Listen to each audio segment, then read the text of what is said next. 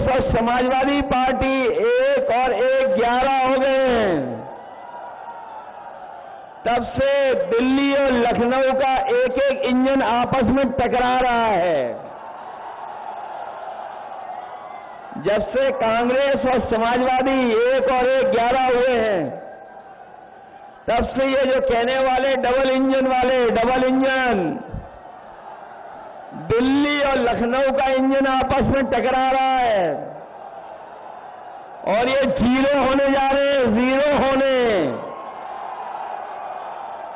अभी तक तो मैं ये सोचता था कि 80 सीट में एक में लड़ाई है, क्यूटों में। लेकिन अब तो ये लग रहा है कि बीजेपी का 80 में 80 का सफाया होने जा रहा है। ये जो दिल्ली वाले हैं, कई बार कहते हैं, शहजादे और शहजादे। इस बार शहजादे शह भी देंगे और मात भी देने जा रहे हैं भारतीय जनता पार्टी के लोगों को। याद है आपको इन्होंने कितने वादे किए थे हमसे और आपसे? कहा कि किसानों की आय दोगुनी हो जाएगी। बताओ हमारे प्रतापगढ़ के किसान भाइयों, किसी भी किसान की गाँव में रहने वाले नौजवान उनके परिवार की, जो खेती बाड़ी से जुड़े हैं, किसी की आय दोगुनी नहीं हुई।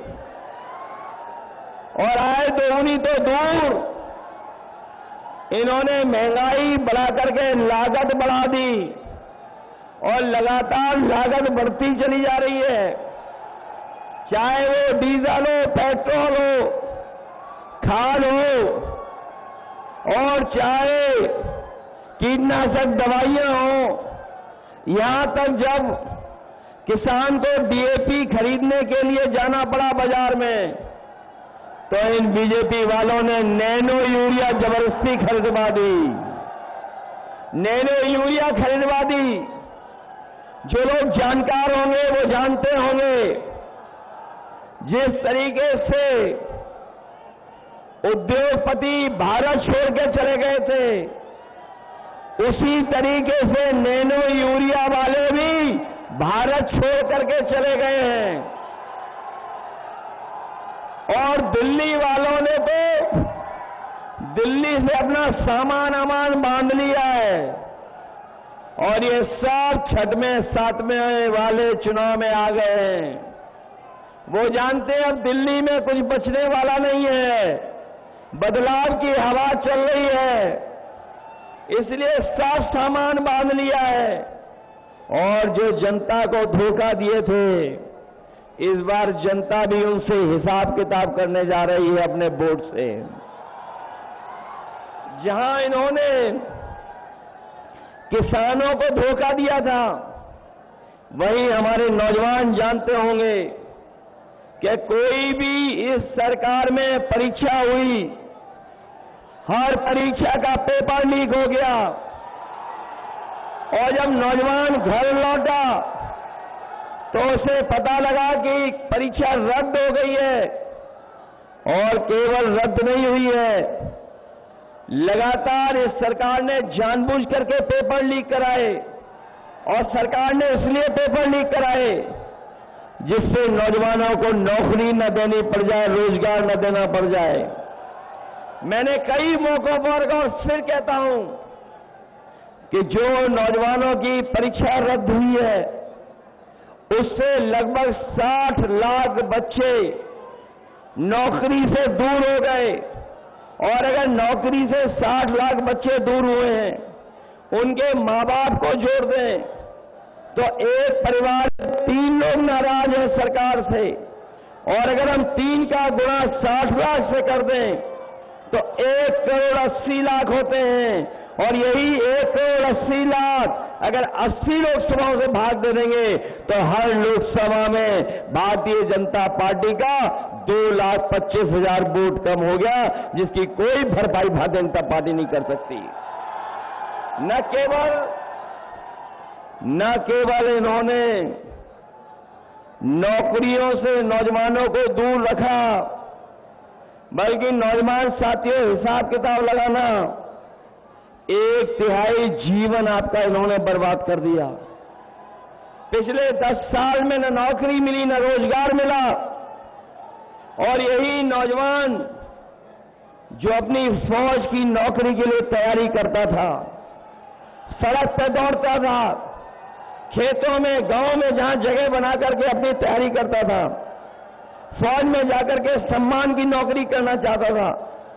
लेकिन इन बीजेपी वालों ने फौज की नौकरी भी आधी अधूरी कर दी। मैं अपने नौजवानों से कह के जा रहा हूँ,